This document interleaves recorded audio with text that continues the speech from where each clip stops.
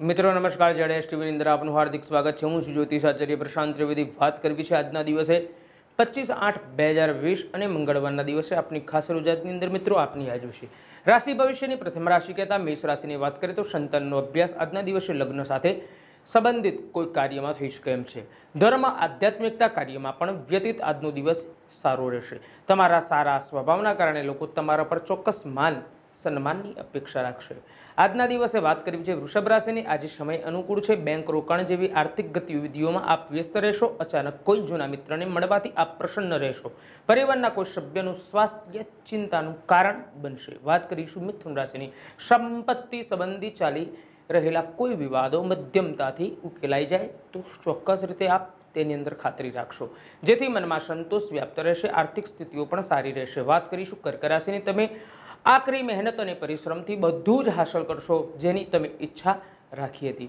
સફળતા અને ભાગ્ય ઉન્નતિના રસ્તા પ્રબળ થઈ રહ્યા છે. એના કારણે તમે કોઈ પણ કાર્યમાં આજના દિવસે સિદ્ધિ પ્રાપ્ત કરશો. વાત કરીશું સિંહ રાશિની આ સમય માનસિક શાંતિ અને સંતોષદાયક છે. સંતાનના અનુકૂળ લગ્નથી મનમાં પ્રસન્નતા જળવાયેલી રહેશે. ભાઈઓ અને સાથે સંબંધોમાં મધુરતા રહેશે. વૈભવ સંબંધિત વસ્તુની ખરીદારી સંભવ છે. દેવાથી આપ છુટકારો પ્રાપ્ત કરી શકશો. વાત કરીશું કન્યા રાશિની. તમે જીવનની સમસ્યાને વધારે સરળતાથી ઉકેલી જશો.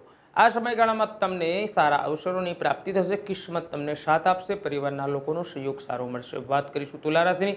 આ સમય તમે લોકો માટે ખૂબ સારી રીતે મહેનત કરશો. જે રચનાત્મક અને કળાત્મક કાર્યો કરે છે તે વિદ્યાર્થીઓ માટે પણ આ સમય સારો છે. કોઈ ક્ષેત્રમાં સારી સફળતા હાંસલ કરવા માંગો છો પ્રોફેશનલ જીવનમાં તમારી મુશ્કેલીનો સામનો તમારે ચોક્કસ કરવો પડે. છે વાત કરીશું અહીંયા વૃશ્ચિક રાશિની. આજે તમને કોઈ અનેક પોઝિટિવ પરિણામોની પ્રાપ્તિ થશે. આ સમય સારી યોજના બનાવવા માટે તમે લાગુ પડશો, ચોક્કસ સારા કાર્યો થશે, સામાજિક જીવનમાં થોડા વધારે સક્રિય બનો તો સારું. વાત કરીશું ધનરાશિની.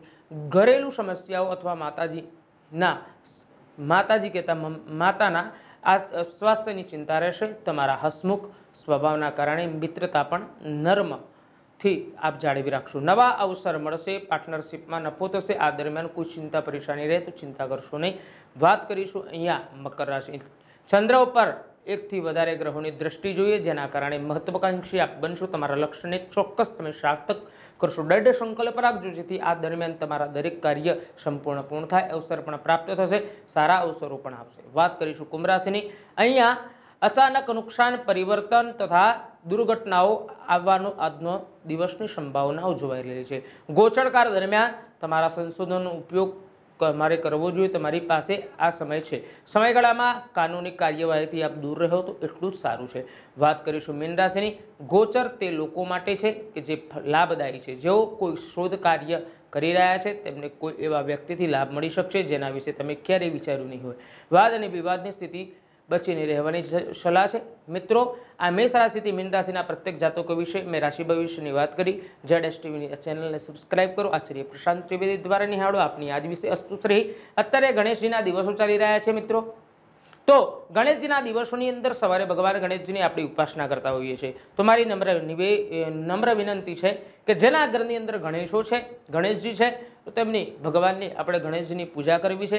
પણ આજનો દિવસ કંઈક એક એવો દિવસ છે કે આજના દિવસની અંદર મંગળવાર અને આજના દિવસે આપણે ભગવાન ગણેશજીની એ રીતે પૂજા કરવી છે કે સવારે ભગવાનને મોતીચૂરના લાડુ ધરાયા પછી એક પીળો કાગળ લઈ, પીળા કાગળની અંદર ઓમ ગમ ગણપતિ નમઃ લખી અને એની અંદર તમારી કોઈ પણ સાત ઈચ્છાઓ લખવાની છે.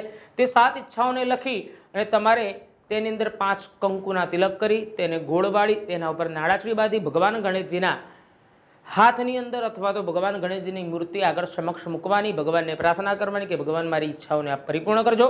અને ત્યાર પછી તે ગણેશજીની આગળ મૂકેલી ચિઠ્ઠી છેલ્લા વિસર્જનના દિવસે અથવા તો એ દિવસે સાંજે વહેતા જળા જળની અંદર, વહેતી નદીની અંદર અથવા કોઈ જળાશયની અંદર આપ પધરાવજો. ચોક્કસ ભગવાન ગણેશજી આપનો સંકલ્પ પૂર્ણ કરશે. અસ્તુ શ્રી જય ગણેશ.